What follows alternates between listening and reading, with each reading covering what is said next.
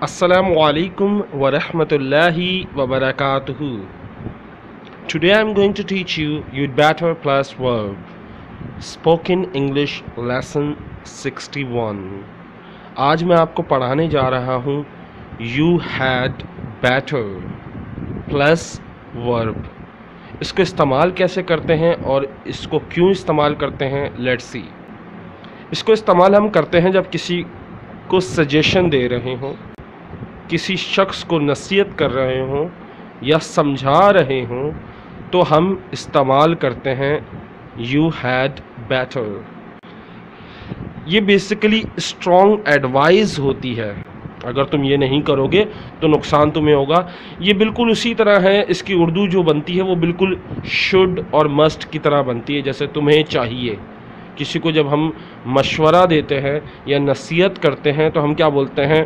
तुम्हें एक्सरसाइज करनी चाहिए, तुम्हें वर्जिश करनी चाहिए, तुम्हें रोज़ाना सुबह जल्दी उठना चाहिए। तो इस तरह जब भी हम जुम, जुमला इस्तेमाल करेंगे, लेकिन एक बात याद रखिएगा, ऐसे जुमले हों जिनमें अगर ना करें तो नुकसान भी हो या कुछ नेगेटिव इफ़ेक्ट हो। सही है? You'd is a construction of you had or you would ये जो यूड का लफ्ज़ होता है ये इस्तेमाल होता है या तो यू हैड के लिए या तो यू वुड के लिए। इसके बाद आपने बेटर का लफ्ज़ लगाना है और उसके बाद फ़ौर वर्ब की फ़र्स्ट फॉर्म लगानी है। यू हैड बेटर एक्सरसाइज तुम्हें वर्जिश करनी चाहिए। अगर नहीं करोगे तो मोटे हो जाओगे या बीमार पड़ जाओगे। सो so, याद रखिएगा आपने हर जुमले में क्या इस्तेमाल करना है? यूड बैटर इसके फ़ौर बाद आपने वर्ब की फ़र्स्ट फॉर्म लगानी है। यूड बैटर एक्सरसाइज तुम्हें वर्जिश करनी चाहिए। There is a heavy rain outside you'd better take an umbrella there is a heavy rain outside you had better take an umbrella बाहर काफ़ी तेज़ बारिश हो रही है, तुम्हें छतरी लेनी चाहिए। अगर छतरी लेकर नहीं जाओगे तो नेगेटिव इफ़ेक्ट क्या पड़ेगा? आप गीले हो जाओगे। There is a heavy rain outside बाहर बहुत तेज़ बारिश हो रही है। You had better take an umbrella तुम्हें छतरी लेनी चाहिए। अगले देखें। You'd better work hard you better work hard तुम्हें सख्त मेहनत करनी चाहिए। अगर तुम सख्त मेहनत नहीं करोगे तो एग्ज़ाम में अच्छे नंबरों से पास नहीं होगे। So you better work hard या you had better work hard तुम्हें सख्त मेहनत करनी चाहिए। नेक्स्ट देखें you are not feeling well you had better see a doctor you are not feeling well you better see a doctor तुम अच्छा महसूस नहीं कर रहे या तुम सही नहीं लग रहे, तुम्हें डॉक्टर को दिखाना चाहिए। You'd in white your brother you had बैठर in white your brother तुम्हें अपने भाई को दावत देनी चाहिए। You'd batter impress the जजेज़ you'd better impress the जजेस तुम्हें जजेस को मुतासर करना चाहिए। You'd better listen to your parents you'd better listen to your parents तुम्हें अपने वालदेन की सुननी चाहिए या तुम्हें अपने पेरेंट्स की सुननी चाहिए। You had better not come home late you had better not come home late. तुम्हें घर देर से नहीं आना चाहिए। अगली दफ़ा आओगे तो मार खाओगे। ओके सो नेक्स्ट देखते हैं। ये बहुत कॉमन है और बहुत ज़्यादा लोग इस्तेमाल करते हैं। You had better hope for the best you better hope for the best तुम्हें अच्छे की उम्मीद रखनी चाहिए। You had better change your attitude.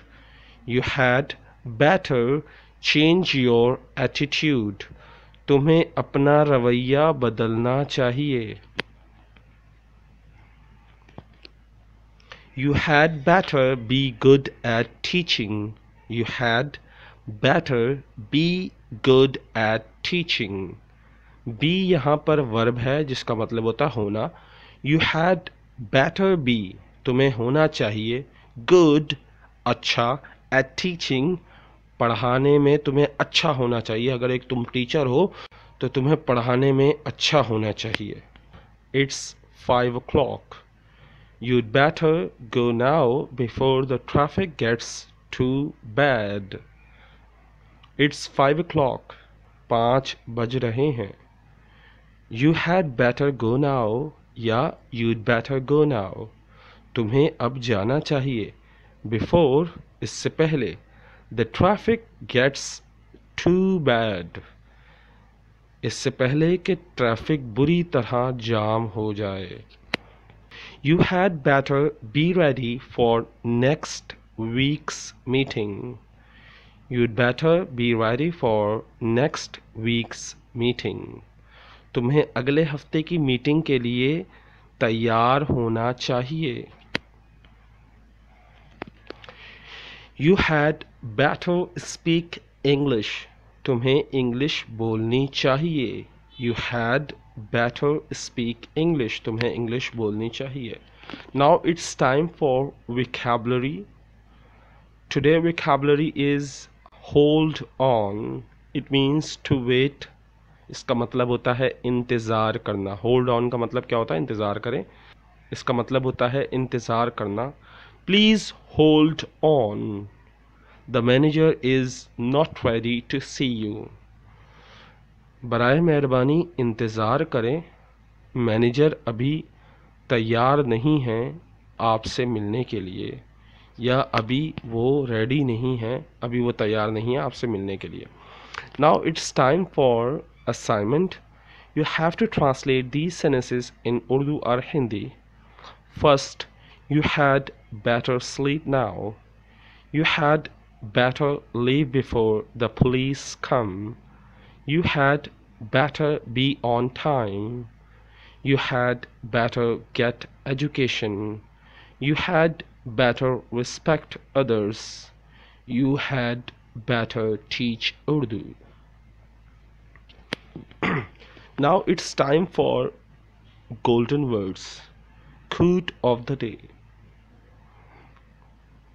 never regret a day in your life good days give you happiness bad days give experience worst days give lessons and best days give you memories आप कभी मत पछताएं अपनी ज़िंदगी में किसी भी दिन क्योंकि good days give you happiness good days give happiness अच्छे दिन आपको खुशियाँ देते हैं। बैड डेज़ गिव एक्सपीरियंस बुरे दिन जो हैं, वो तजर्बा सिखाते हैं। वर्स्ट डेज़ गिव लेसन और बहुत ही ज़्यादा परेशान और तंग होने वाले या बहुत ही तकलीफ़ दे दिन जो होते हैं, वो आपको सबक सिखाते हैं। बेस्ट डेज़ गिव मेमोरीज़ और जो बेहतरीन दिन होते हैं, वो आपको यादें दे जाते हैं। क्वेश्चन ऑफ़ द डे आज का सवाल। Who is your favourite cartoon character and why कौन सा आपका पसंदीदा कार्टून का करेक्टर है, किरदार कौन सा ऐसा है कार्टून का जो आपको पसंद है और क्यों पसंद है। Please let me know if you like this video please share this video with your friends अगर आपको ये वीडियो पसंद आई है तो अपने दोस्तों के साथ लाजमी शेयर करें, हँसते रहें, मुस्कुराते रहें। असलकुम